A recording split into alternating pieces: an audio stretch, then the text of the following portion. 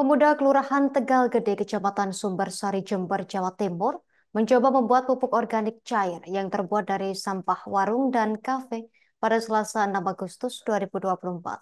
Selama proses pembuatan pupuk organik cair tersebut, warga didampingi mahasiswa kuliah kerja nyata atau KKN kolaboratif di Kelurahan Tegal Gede, Kecamatan Sumbersari. Beberapa sampah organik yang mereka produksi untuk pembuatan pupuk tersebut di antaranya kulit buah pisang, melon, semangka, dan juga sayur mayur. Informasi selengkapnya akan dilaporkan rekan Imam Nawawi wartawan Tribun Jatim Timur. Rekan Imam, silakan laporan selengkapnya dari Anda.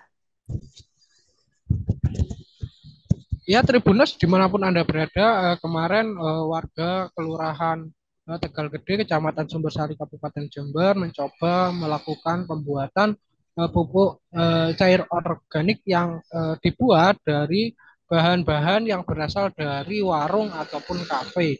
Eh, program ini sebetulnya diinisiasi eh, dari mahasiswa KKN kolaboratif yang melakukan kegiatan di eh, kelurahan yang berada di wilayah Jember Kota tersebut.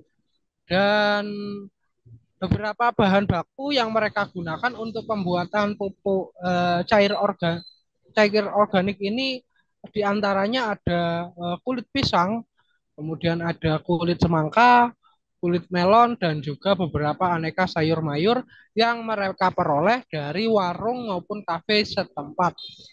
Dan proses pembuatannya pun eh, mereka buat eh, di mana eh,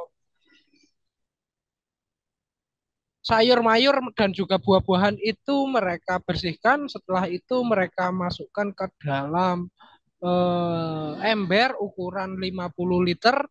Eh, setelah itu mereka campurkan dengan cairan E4 eh, sebagai bahan fermentasi yang dicampur dengan eh, air gula. Kemudian mereka aduk eh, cairan tersebut. Setelah dirasa merata, eh, cairan yang sudah tercampur dengan eh, sampah-sampah organik itu mereka siram dan mereka rendam dengan air bersih e, berukuran 50 liter e, lebih yang dimasukkan dalam ember tersebut. Kemudian mereka tutup untuk proses e, fermentasi yang nantinya akan dibuka 20 hari atau minimal 15 hari kemudian. Dan menurut e, mereka program ini sebagai upaya untuk memanfaatkan e, limbah sampah organik agar bisa dimanfaatkan oleh warga setempat eh, supaya bisa memiliki nilai ekonomis yang lebih sehingga sampah-sampah organik ini bisa digunakan eh, lebih eh, menguntungkan dan menambah pendapatan baru bagi masyarakat nantinya karena bisa dijual ke para petani. Eh, dan namun sampah-sampah organik ini dipastikan tidak mengandung atau tidak tercampur dengan bahan baku plastik maupun minyak. Karena jika tercampur dua zat itu uh, akan merusak proses fermentasi sehingga uh, pupuk cair organik yang dihasilkan akan gagal dan kualitasnya tidak bagus. Dan penggunaan pupuk uh, organik cair yang berasal dari limbah sampah organik yang ada di warung-warung ini dilakukan Eh, sebagai upaya untuk membangun kesadaran masyarakat agar bisa memisahkan antara sampah organik dan anorganik. Eh, karena sampah organik bisa dimanfaatkan lebih eh, untuk pembuatan pupuk kompos yang memang diharapkan mampu meningkatkan pH tanah dan juga membuat tanaman semakin bagus kualitasnya. Dan namun mereka mengaku belum memastikan uh, kandungan yang uh, terkandung dalam cairan pupuk cair organik yang mereka buat ini.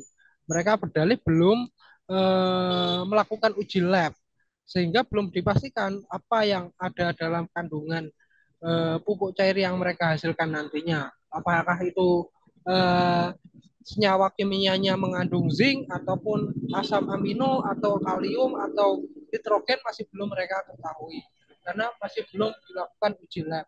Namun mereka mengaku sudah melakukan pengaplikasian pupuk organik ini di eh, taman taman gizi milik eh, pemerintah kelurahan eh, Tegal Gede, Kecamatan Sumber eh, Sari, Kabupaten Jawa itu dan hasilnya menurut mereka cukup eh, bagus, khususnya untuk tanaman-tanaman hidroponik seperti eh, sayuran, cabai dan juga eh, tomat.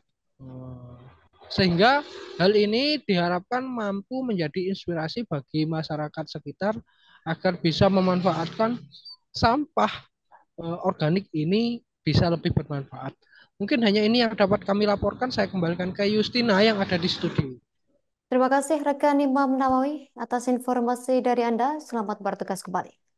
Pemirsa kami tampilkan wawancara wartawan kami bersama Farid Effendi, pemuda Kelurahan Tegal Gede. Ya prosesnya ini kita kumpulkan dari limbah cair mas, limbah-limbah organik yang kita nanti kumpulkan jadi satu, kita campurkan dekomposer, kemudian kita fermentasi sampai dengan dua minggu, yang hasilnya nanti akan menjadi uh, pupuk cair.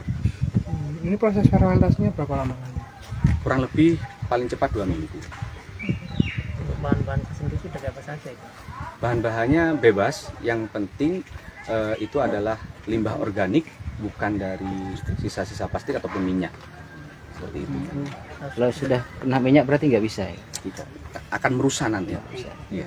Kemudian dari hasil itu digunakan untuk tanaman khusus atau seperti apa? Oh tidak, uh, hasil untuk pupuk ini bisa kita gunakan untuk tanaman pertanian, kemudian uh, bunga, tanaman hias, dan lain sebagainya. Download Tribun X sekarang. Menghadirkan lokal menjadi Indonesia.